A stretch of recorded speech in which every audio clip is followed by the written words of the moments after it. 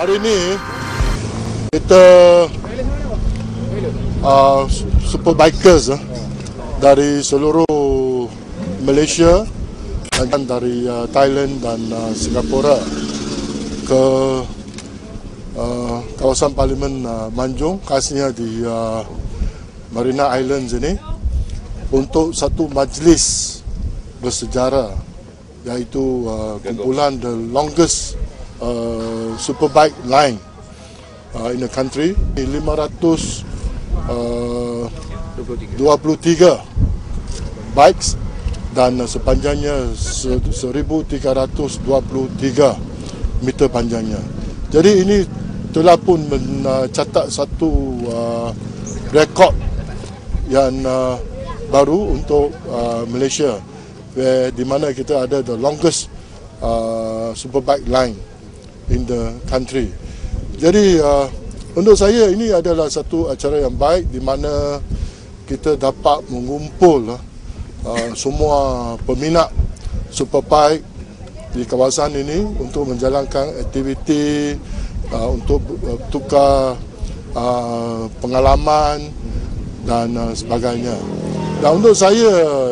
yang uh, datang dari Kementerian uh, Pengangkutan yang uh, yang uh, penting untuk saya adalah bila uh, peminat uh, superbike ini uh, menunggang uh, itu baik-baik mereka uh, perlu uh, mematuh, mematuhi lah peraturan jalan raya dan juga uh, mengambil uh, uh, itu uh, kepentingan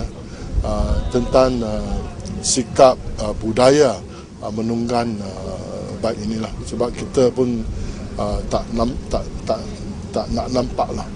uh, itu kejadian uh, apa-apa kemalangan ke uh, uh, semasa superbike itu di atas uh, jalan raya. So saya di sini ingin uh, mengucap uh, syabas dan tahniah lah kepada semua uh, klub-klub uh, superbike dari uh, seluruh negara dan juga termasuk Singapura dan uh, Thailand. Superbike ini dia adalah satu uh, golongan uh, bikers yang uh, berlainan dari uh, dari uh, pengguna uh, motosikal yang biasa. Pengguna motosikal yang biasa ini mereka uh, guna motosikal untuk bekerja untuk menjalankan uh, tugasan harian. Tetapi kebanyakan uh, superbikers ini adalah peminat uh, dia ada the, the, the, the, the, apa nama the interest uh, hobi uh, dan sebagainya untuk untuk mereka. Jadi uh, untuk saya uh, memang sikap uh, budaya berkenan uh, berkenaan dengan uh, uh,